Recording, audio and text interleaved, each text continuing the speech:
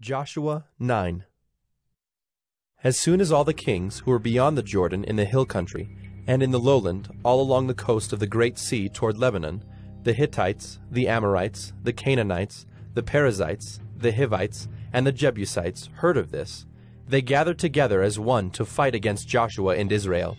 But when the inhabitants of Gibeon heard what Joshua had done to Jericho and to Ai, they, on their part, acted with cunning and went and made ready provisions, and took worn out sacks for their donkeys, and wineskins, worn out and torn and mended, with worn out patched sandals on their feet, and worn out clothes.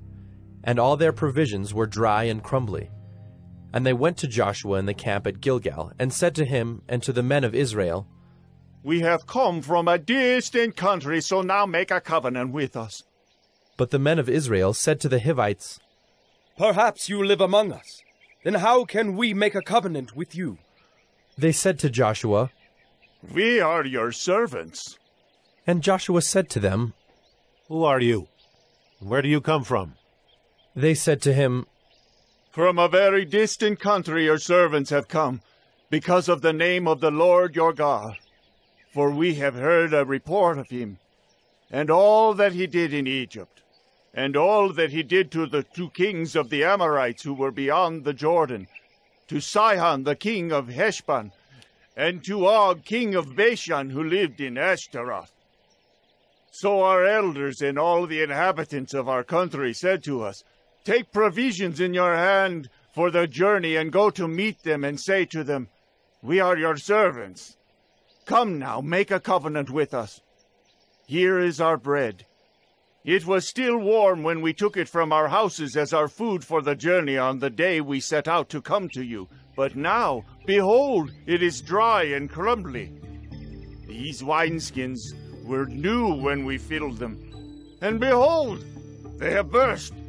And these garments and sandals of ours are worn out from the very long journey. So the men took some of their provisions, but did not ask counsel from the Lord. And Joshua made peace with them, and made a covenant with them to let them live. And the leaders of the congregation swore to them.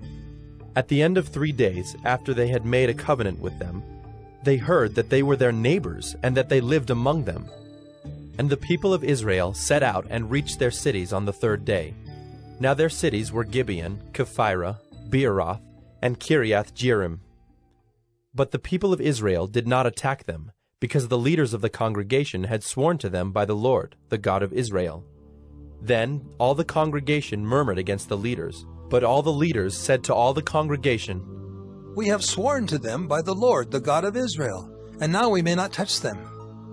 This we will do to them. Let them live, lest wrath be upon us because of the oath that we swore to them. And the leaders said to them, Let them live. So they became cutters of wood and drawers of water for all the congregation, just as the leaders had said of them.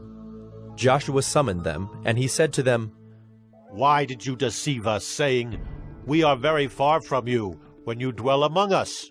Now therefore you are cursed, and some of you shall never be anything but servants, cutters of wood, and drawers of water for the house of my God. They answered Joshua, Because it was told to your servants for a certainty that the Lord your God had commanded his servant Moses to give you all the land and to destroy all the inhabitants of the land from before you. So we feared greatly for our lives because of you and did this thing. And now, behold, we are in your hand. Whatever seems good and right in your sight to do to us, do it. So he did this to them, and delivered them out of the hand of the people of Israel, and they did not kill them. But Joshua made them that day cutters of wood and drawers of water for the congregation and for the altar of the Lord, to this day in the place that he should choose.